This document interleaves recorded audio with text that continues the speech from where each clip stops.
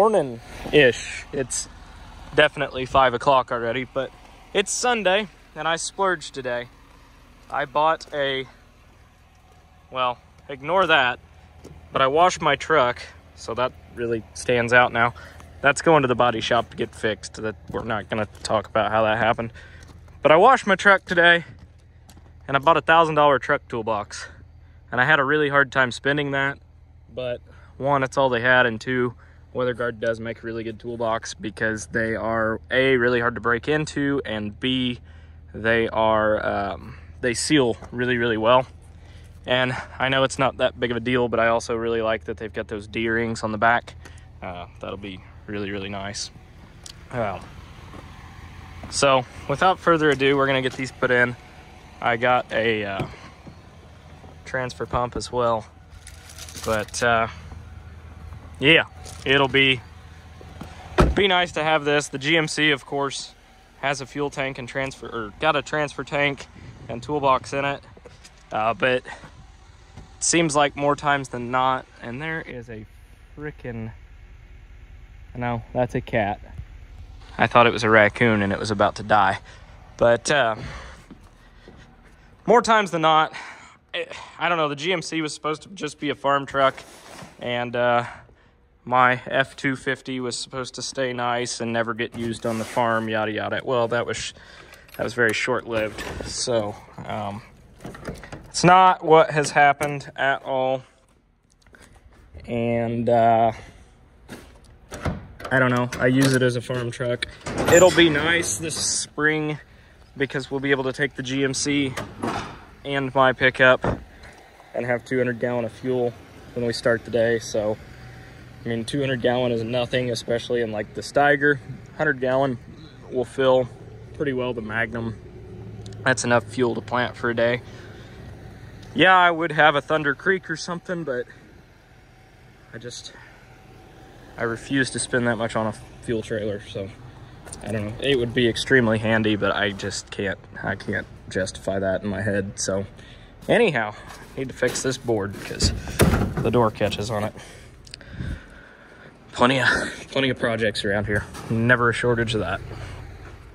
Well, most importantly, we added a sticker for more horsepower.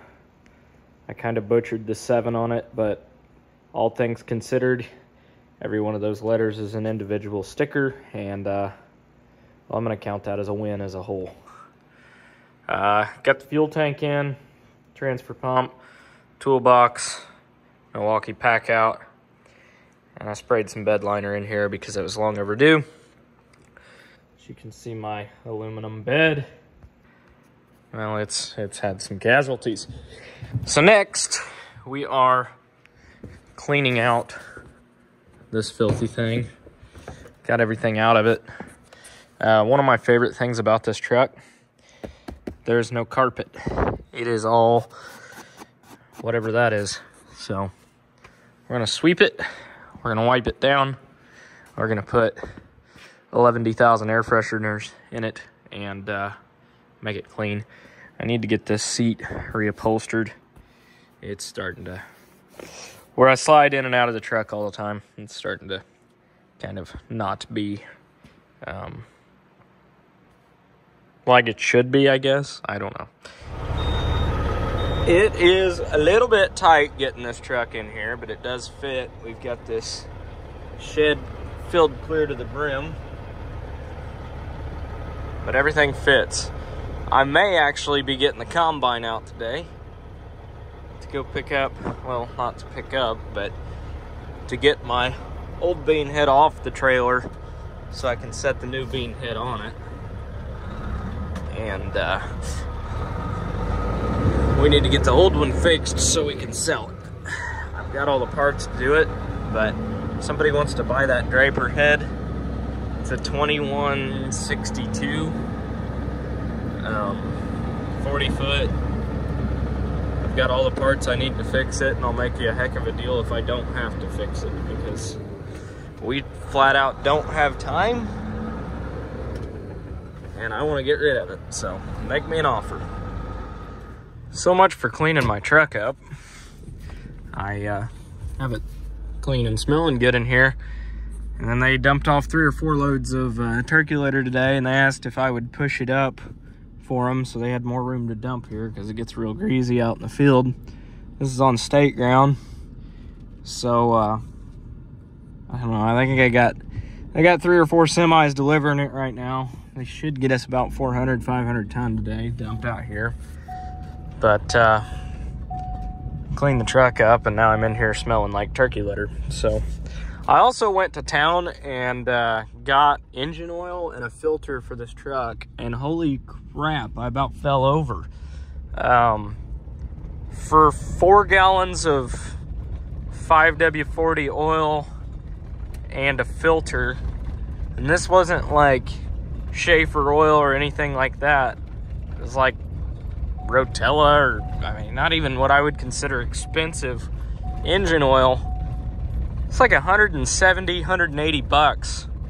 I think the last time I took my truck to go get an oil change, it was like 80 or 90 of that. That was ridiculous. I mean, it's gotten to the point it's cheaper to just take your vehicle somewhere and get it changed. The only reason I don't take it somewhere as I just don't have time to drop it off, get it in somewhere. I need to change it before I go to Louisville, so just figured I'd do that real quick today, but holy cow. That's ridiculous. 170, 180 bucks for an oil change? Jesus. And then Michael called me and said that uh, one of the grain bins, he, he's hauling corn right now. And uh, he said that grain quit running out. It's time for the sweep. So it's a 36 foot bin. And uh, actually, one of you viewers um, was watching a video from Walinga, who makes grain vacs. He works for them, and they are going to bring out a uh, grain vac, it sounds like, for us to try out. So I'm pretty excited about that because it's a 36 foot bin in diameter, and the biggest bin sweep I have is 24 foot, so that means we do a lot of scooping. And that's not that fun, because that's like three or four semi-loads worth of corn to scoop and uh, nobody nobody wants to do that. So um, I'm actually seriously interested in trying their vac out and uh, potentially buying a um, stationary vac that's electric um, for the grain bins that I'm building. That way I could put in a um, put in a grain dryer, continuous flow, and use that to fill the bins. So I'm not sure. Um, have to do some pricing, do some figuring. Already got a lot in these bins. You know, a guy can only do so much at once, and I'm not a fan of borrowing money right now. Um, interest rates being what they are. Um, I'm not opposed to it if it makes sense. As long as I can see that it pencils out and pencils out well, I don't care to spend money, but it's got to make sense. not a huge fan of borrowing money at current interest rates. So, anyhow, we're just kind of going to do what we can within our means, but it may be within our means. It's going to have to price a dryer, price a wet bin, and price an air vac. It would be very nice to be able to dry corn, but it's also expensive to dry corn. LP is not cheap, so we'll see. But uh, I think Michael actually might swap me jobs. I got some stuff to do around the farm, some taxes, some equipment shuffling. And this is actually his turkey litter. It's not my turkey litter. Um, I was just, I happened to be closest when they called and said they were delivering it. So uh, he rented his own ground this year, which I'm really happy about because he's got some skin in the game. Uh, there was some ground up for rent. He asked me, which I wasn't even entirely sure where it was at. He said it was in the area. I said, well, as long as you can make a pencil, sure. So he rented a piece of ground um, of his own, so he's got some skin in the game now. And uh, I'm really glad because now he's not just working for me, he's working for himself too. And uh, I don't know, that makes a guy have some pride, uh, having something of your own. So I'm glad that he's got that. But uh, anyhow, headed back, Gonna try and swap out Draper heads today, but Fingers crossed that the combine even starts because my bet is on probably not. Well, I'll be damned. I was complaining about uh, the combine maybe not starting, and Michael's already got it out. So apparently, we will get that done today. He's got that out, got the excavator out, got the sprayer out. Had to get it all out. Now he's moving the bean head, so he's three steps ahead of me right now. And I love that about Michael. I don't have to tell him what to do. He just knows how to do it and he does it. And that's worth a lot because having somebody that you don't have to hold their hand is well that's that's pretty awesome. I don't care if I'm going to be in the combine 2 seconds. I still have to air the seat up. It drives me nuts. Change of scenery. I miss this. I'm not going to miss this draper head, but I miss this. Parking brake. Shut up. I don't miss the Pro 700 though. Shut up. Shut up. Shut up. Shut up. Shut up. Shut up. Hate this thing. Well, I got good news and bad news. Good news is we shot a raccoon out the back of the combine. The bad news is the auger won't fold back in. I folded it out. Anytime I get the combine out, I always fire up the rotor and kick the auger out. And it gets all the bird nests out of it and all that. Somehow it broke the wire going out there. I think that one's to the light. No, that one's to the camera. Anyhow, broke that. No big deal. But the damn thing won't fold back in. And I don't know why. Um, it's trying to. It almost acts like the cylinder's airlocked or something. Because you can hear the solenoid kick on. You can see the hoses get tight. And if you watch that little whatchamajigger at the end of the cylinder, it moves just a little bit left and right. So it's trying to suck it back in. It's like it's airlocked or something in the cylinder. So I don't know. And then the last farm we cut beans was double crop beans on reclaimed ground, which is really rocky ground.